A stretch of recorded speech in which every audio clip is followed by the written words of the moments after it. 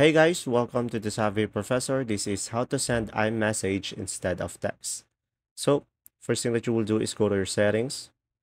And from here, just scroll down. And you should be able to see your messages. And now from here, just turn on iMessage over here. And you'll be able to tap on send and receive.